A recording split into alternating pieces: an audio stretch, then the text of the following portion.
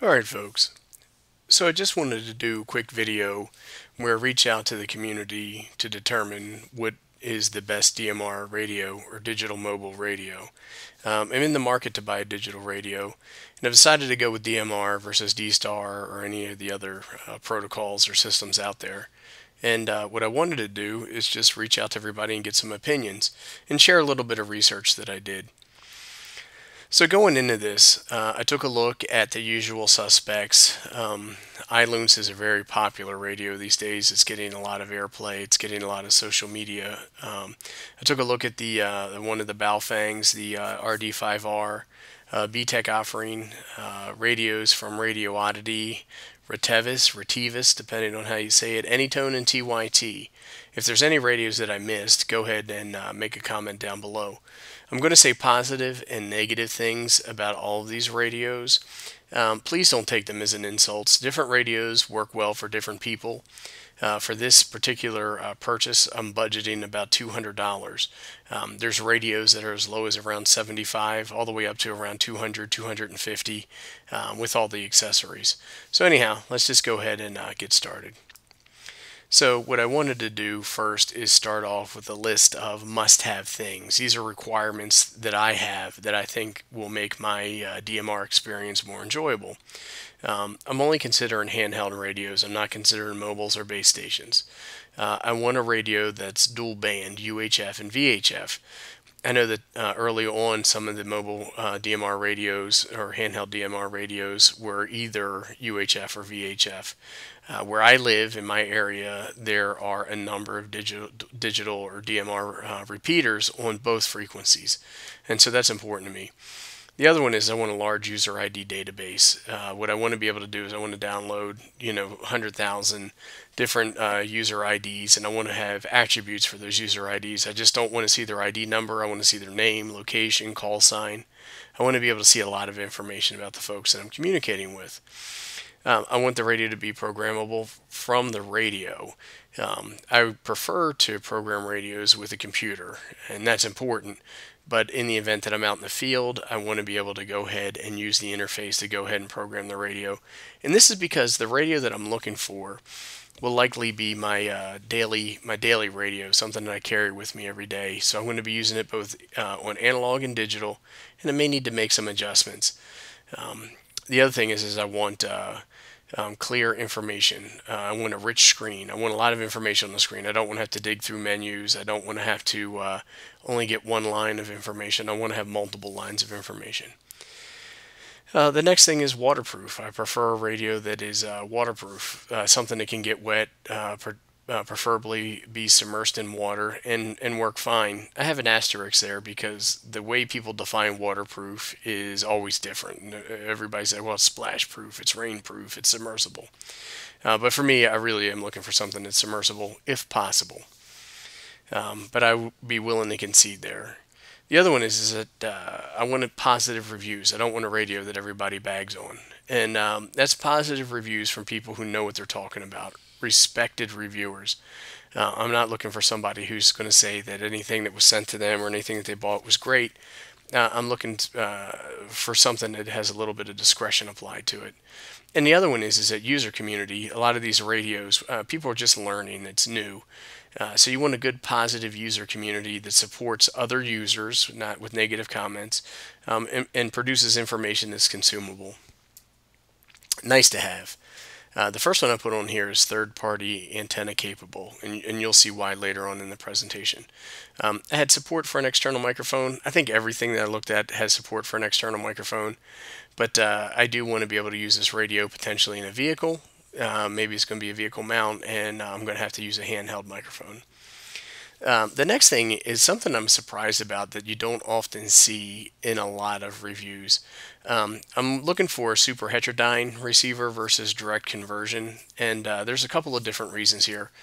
Um, the biggest uh, super heterodyne uh, receivers are more expensive, but what they do is, is they have a, a, layer of filtering, I think is the best way to say it, and, and I'm a little bit new to this. Um, but what it allows is, is that if there are other DMR radios in your area that are transmitting, it won't desensitize your receiver. Um, you'll be able to focus in or filter in on the signals that you're concerned about. Uh, when you use direct conversion, which is a little bit of a cheaper um, receiver type, which is the most common, uh, a lot of times if you're communicating, uh, somebody else communicating digital radio can can wipe out your ability to receive. And uh, where this is important is, in emergency communications, uh, direct responders, uh, first responders, and that, and that's kind of why you don't see these uh, cheaper cheaper Chinese uh, handheld DMR radios being used by professional services. They're typically using something that has a super heterodyne receiver. Now you'll see that in plenty of radios. Um, but there's other limitations just given the cost. Like a lot of times the super hetero uh, receivers aren't aren't dual band, for example. The next one is is uh, software support for Linux or Apple.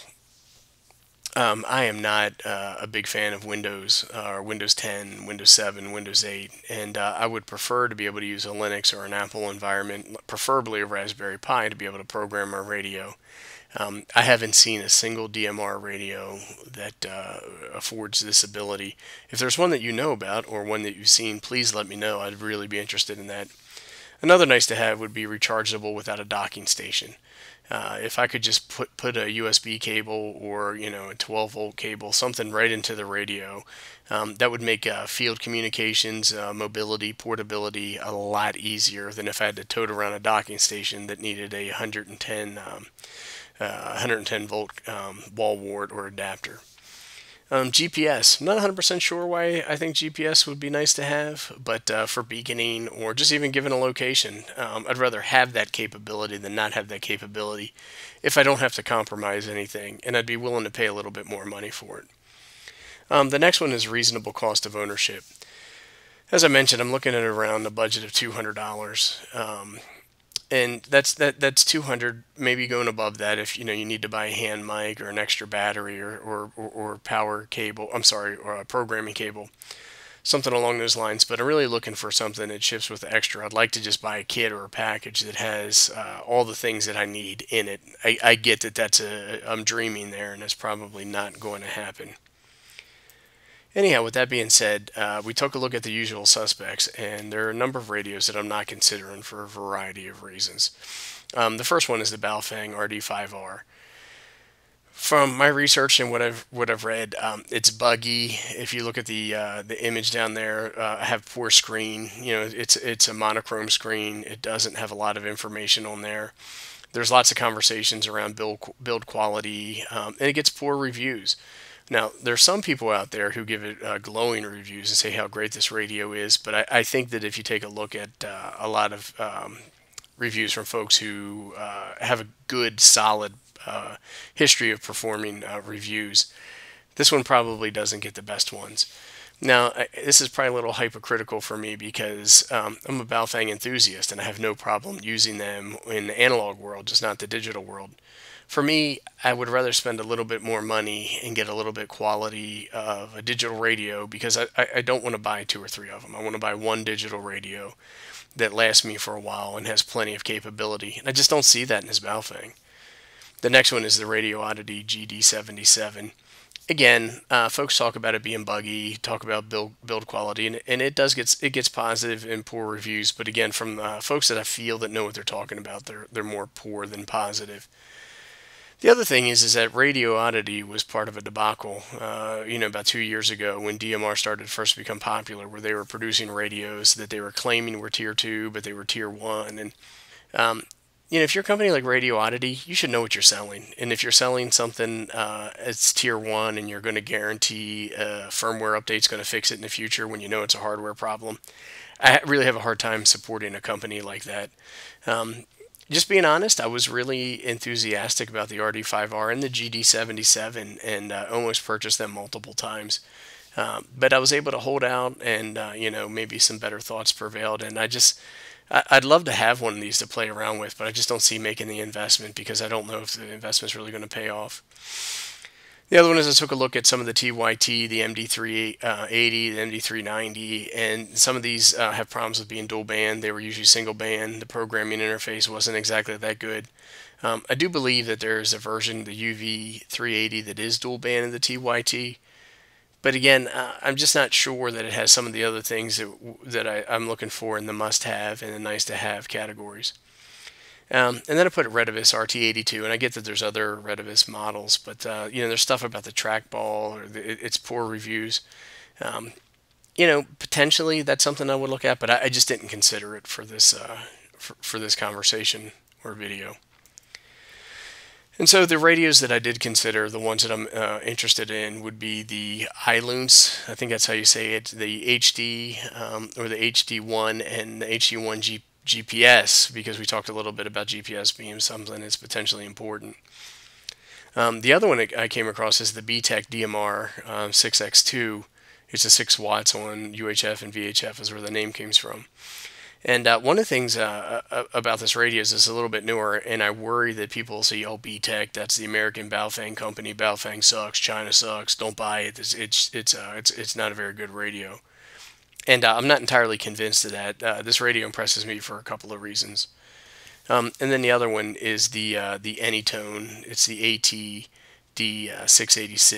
UV, and it looks like my language got cut off a little bit there when I put these icons in. Um, this radio uh, has a lot of positive reviews. It has a pretty good uh, community behind it, and, uh, and and from what I understand, performs quite well. And so uh, that's why this one made it into the list. So what I wanted to do is just run through some pros and cons for each one of the radios that I'm interested in.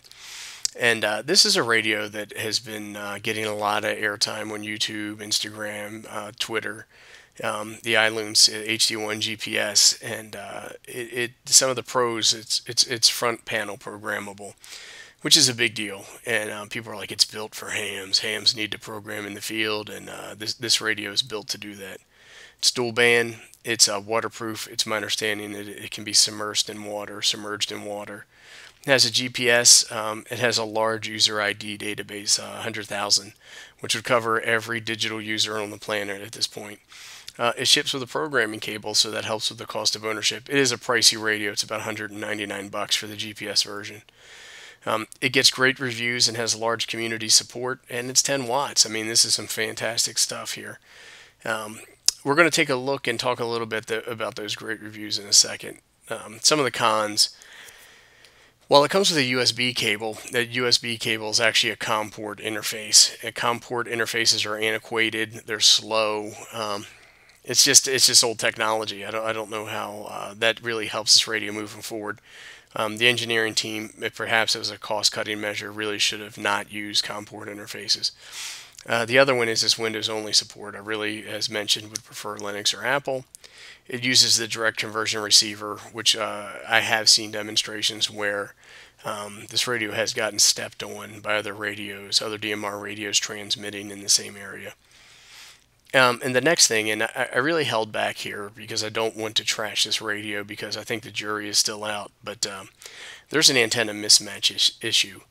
Uh, a lot of people are saying that this radio doesn't, uh, it, it's rated to work on a 50 ohms impedance for antennas, and they're saying it's just not right. Um, the, the, the radio itself, uh, the output is probably more like 30 ohms, is what people are saying, and um, the antenna is not a 50 ohm antenna either there's a lot of uh, information. If you actually go, we talked about large community support. If you go to the uh, Ailunce HD1 um, Facebook support group, uh, you'll see there, and, and, just do a quick search on uh, antenna problems, and um, you'll see a lot of posts around people who are having problems with this radio when using um, antennas other than the stock antenna. And, and what's important about this is, is that um, I have no problem using a stock antenna, and that that might not be an issue for me. But again, if I want to go mobile and this this uh, radio is in my car, I might use a mag mount antenna. I might use a, a permanently mount antenna, and I don't want to introduce problems that might uh, SWR problems is really what's manifesting here, and I don't want to burn out a $200 radio. I don't I don't think that that's crazy. Um, while there's a lot of positive things about this radio, I, am just not convinced that it's entirely done. Um, you know, at the same time, maybe it's not a big issue for you. Maybe you're going to transmit on uh, lower wattage. Uh, really, what seems to be the problem is transmissions of 10 watts on UHF. Um, but again, the company uh, Retevis makes this radio, hasn't really commented on it to a point where the user community is satisfied, is my understanding. But you have a lot of people saying, "Hey, this radio is fine. There's nothing wrong with it," um, because they bought it and they spent 200 bucks on it, and, and they want to feel like they made a good decision. The other thing is, is a lot of people who are producing reviews um, on YouTube about this radio aren't even testing this stuff. So they're they're not measuring the impedance of the antenna. They're not they're not checking to see if other antennas work on there, measuring the SWR, which is you know it's pretty bad. Uh, if if you consider yourself a reviewer, you should probably make sure that any product that you're recommending um, doesn't have a problem like this. I, I I can see this being an issue. Not as bad as the Radioddity um, early Baofeng DMR radio, but uh, you know, if you start to have a lot of people burning up their radios, it's, it's going to come back and it's going to get you. So anyhow, um, in just talking to people, uh, some of them were like, "Hey, I don't believe this is an issue," or "How how how big is it?" Um, so anyhow, this specifications right here is from the user manual, and it says right here, antenna impedance 50 ohms.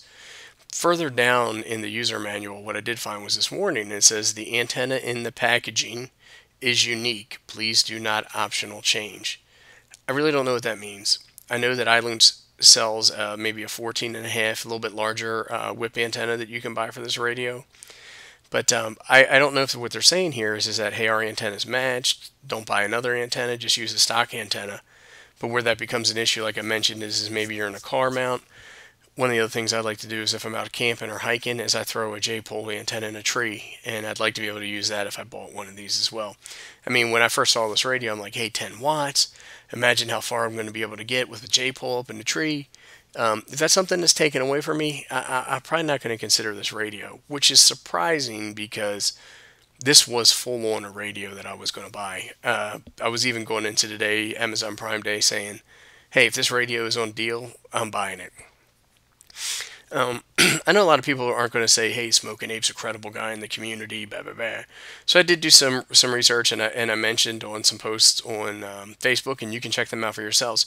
But here's John Miklor, and uh, he's from Miklor.com, which is you know he's kind of like the uh, the pope of Chinese handheld uh, radios.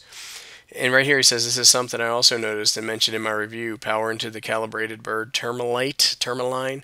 I noticed this on high power, but on UHF only, the power would fluctuate from 8 watts to 15 watts and then hover around 10. Apparently it's not just mine. So I'm not trying to um, beg to a higher authority, but I am saying that there's other people who have more credibility in the ham world than I do saying that there's a potential issue here. And I just wanted to point that out. So that brings us on to the BTECH uh, DMR 6X2. Um, taking a look at some pros for this, a front front panel programmable, uh, dual band, water resistant. So this isn't waterproof, it's water resistant, which I understand is rain and splashing, um, which will probably work. This radio is a little bit smaller than the Ailunce, and, and uh, again, as I mentioned, I'm looking for something that's a daily carry. So uh, portability is kind of important. I didn't put that in my uh, must-have and nice-to-haves. But uh, you know, smaller, lighter radio is is cooler in my opinion. Has GPS. It has the large user ID database. Ships with extras, probably the most. It comes with a programming cable, extra battery, um, pretty good value. It's 169, 170 bucks. Cons, uh, Windows only support. We've covered that. It has a direct conversion receiver, we've covered that. This is a newer radio, um, very limited reviews and uh, limited community support. And I think a lot of that has to do with the fact that it is a BTECH and people probably associate it with Baofeng, which is unfortunate. Um, it's a newer version of the Anytone AT D um, 686UV. It's my understanding Anytone makes this for, for uh, BTECH. Um, the next one, the last one on the list, is really the Anytone AT uh, D686UV.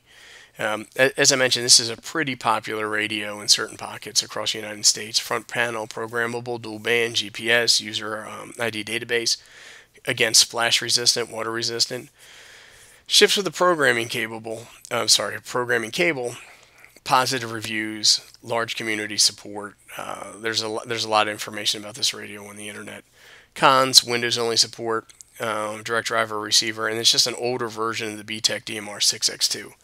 So the cons aren't really long on this list, and you would say, hey, you know what? Based off the pros and the cons, this is the radio. This is the one you want to get.